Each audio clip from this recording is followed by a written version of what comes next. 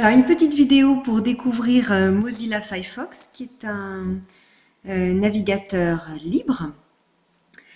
Alors, je rappelle, un navigateur, c'est un logiciel qui est conçu pour euh, consulter et afficher le World Wide Web.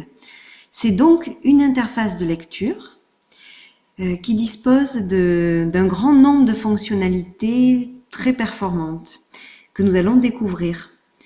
Alors, le multifenêtrage, d'abord, donc cette possibilité de, pour l'utilisateur de mener quasi simultanément plusieurs tâches et qui repose sur le fait que l'interface du navigateur peut présenter simultanément plusieurs fenêtres. Là, par exemple, nous avons trois fenêtres.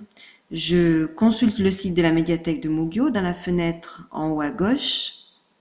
En bas, je peux jeter un œil sur mes mails et à droite, euh, consulter un, autre site, les actualités de notre site. Je pourrais aussi euh, entamer une conversation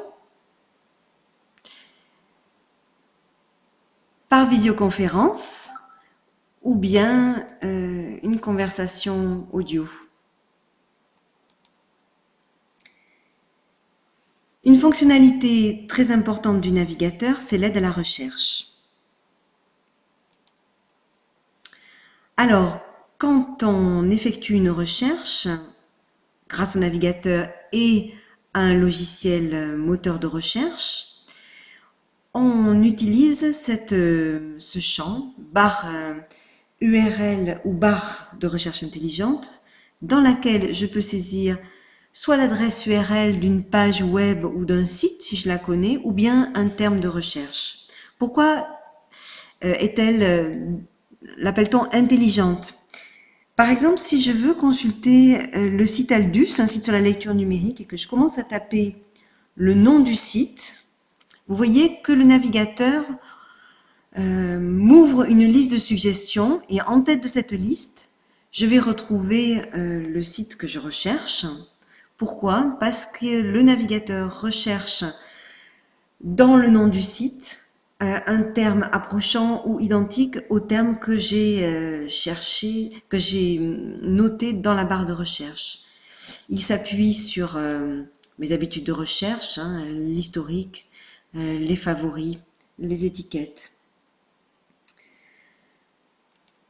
Donc une aide à la recherche. Je peux dans le navigateur paramétrer mes moteurs de recherche. Par défaut, j'utilisais Google, mais vous voyez que je peux utiliser d'autres moteurs de recherche et je peux encore en ajouter d'autres.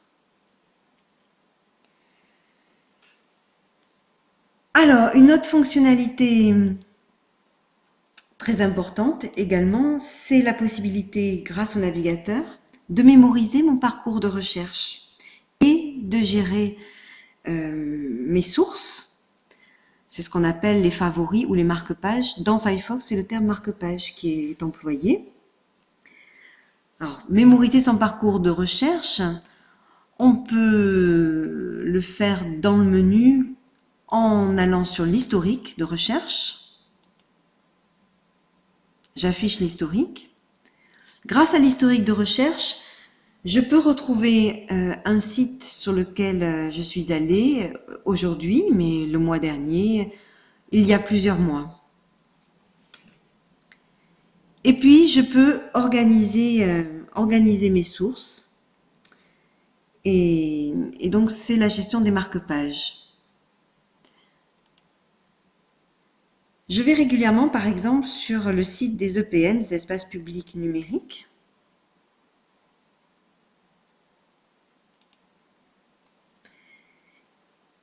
Et plutôt que de saisir à chaque fois l'adresse URL du site ou son nom, euh, je vais le marquer euh, comme marque-page, l'enregistrer comme marque-page. Pour cela, je clique sur la petite étoile, marquer cette page, et je décide où je vais l'enregistrer. Ou bien dans ma barre personnelle,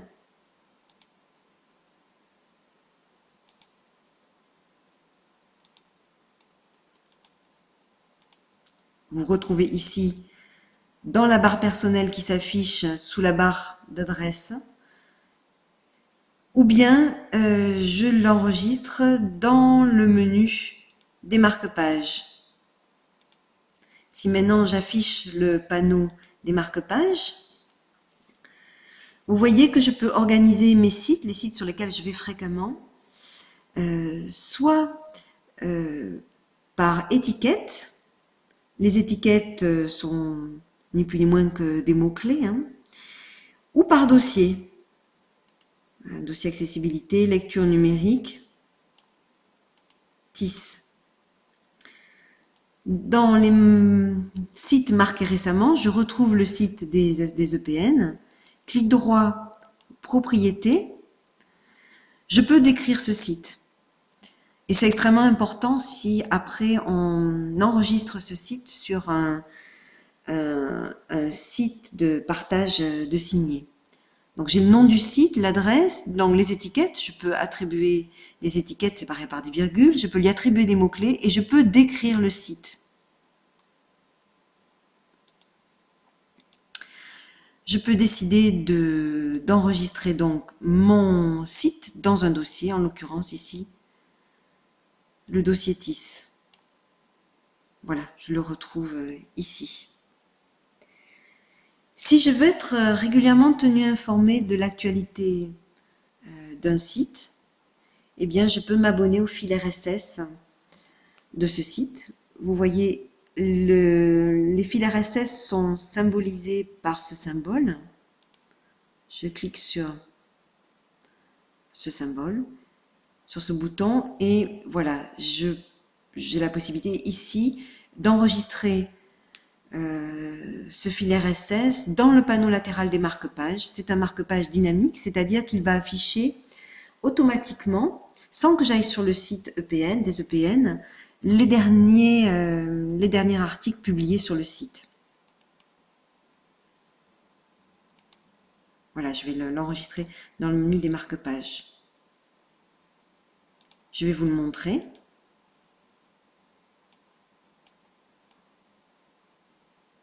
Voilà, il est ici.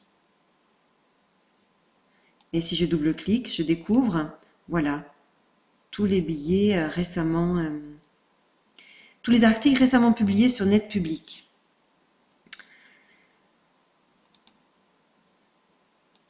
Le navigateur propose aussi euh, des extensions qui permettent d'épurer la lecture d'une page web, ce qu'on appelle la lecture zen. Je vais fréquemment lire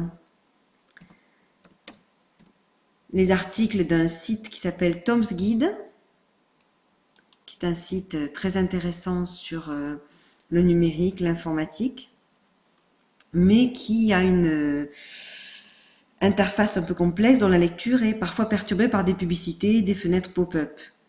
Donc je, prends un article au hasard.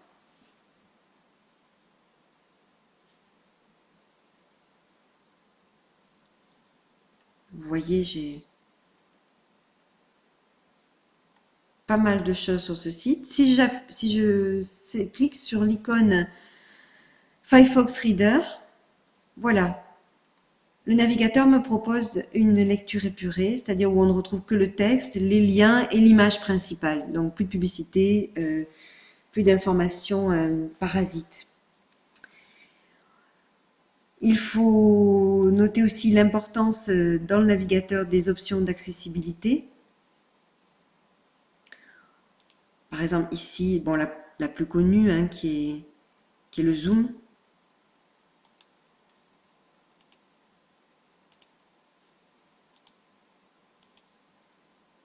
Voilà. La lecture sociale. La lecture sociale, c'est la possibilité de partager une page web ou euh, un signé.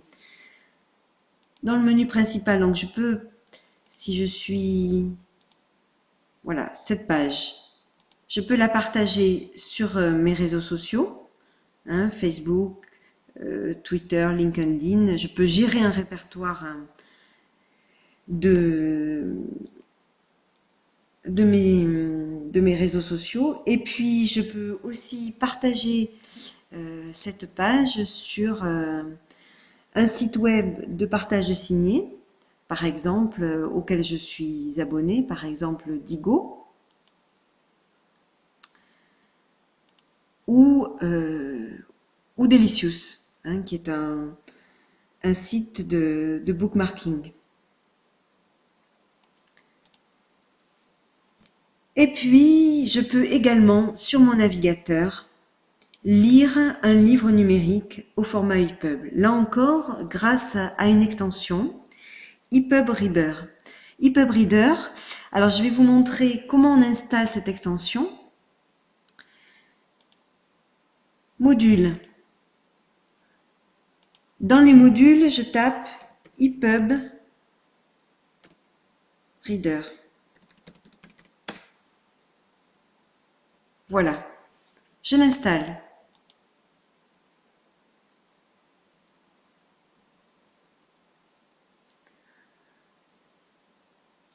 Je redémarre mon navigateur.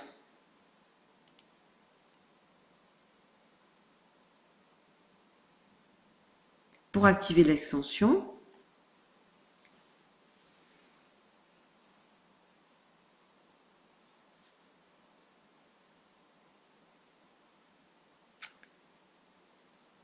je vais vérifier dans les modules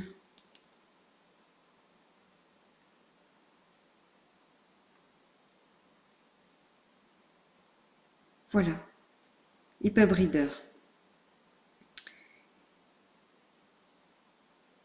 Symbolisé par ce petit logo.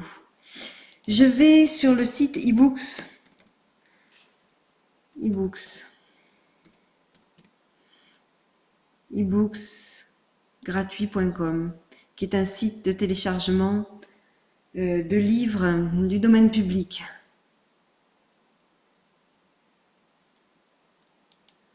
Alors,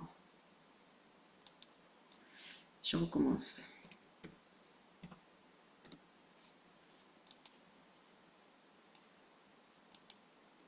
Et je vais télécharger un livre au format EPUB, L'enfant de la haute mer de Supervielle. Voilà. Grâce à l'extension EPUB Reader, je peux lire dans mon navigateur ce livre donc naviguer dans le livre par la table des matières. Euh, voilà. Là, je suis dans un affichage euh, double page, mais je peux aussi choisir un affichage dans le mode rouleau.